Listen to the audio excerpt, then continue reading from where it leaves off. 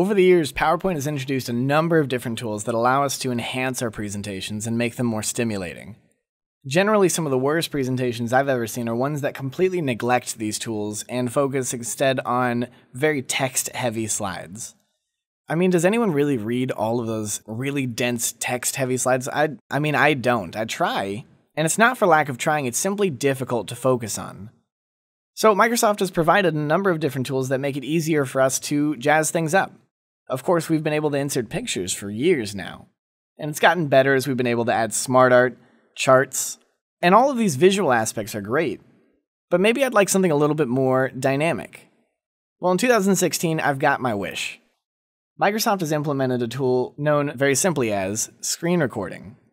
I can actually record a portion of the action on my screen and paste it directly into a PowerPoint presentation. So in this slide here, the question is, who is Sean Bugler? And you might be asking yourself that exact same question. Well, I'll give you a hint. He's really good looking, and you're listening to his voice right now. So maybe we'd like to inject that bit into our PowerPoint presentation. And fortunately for me, I have access to a web page that illustrates very nicely who it is that I am and what it is that I do. I'm going to need to engage the screen recording tool. And when I do, PowerPoint hides itself and it reveals whatever was last on my screen. In this case here, a blog for a company that I happen to work for. The first thing I'm going to do is select an area of the screen that I'd like to record. In this case, I'll go ahead and record this small portion right here. Note that the screen is not going to be frozen here when I start recording. Once I've selected the area that I'd like to record, I'm going to go ahead and do just that. And it gives me this countdown here. So now I can show this aspect of the screen right here and scroll down and again, the only portions of this that are being recorded are the areas that are inside of that checkered box. And there it is at the bottom. Sean Bugler is an instructor at Learnit who specializes in desktop class application usage.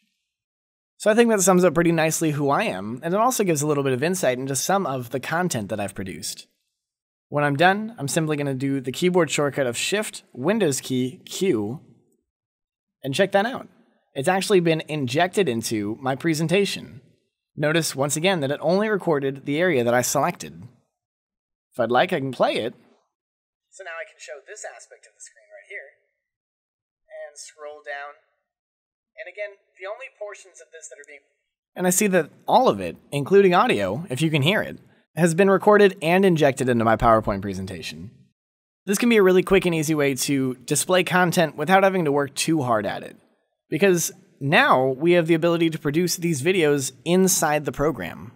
It's a really cool feature and one that is very welcome in the Office 2016 package.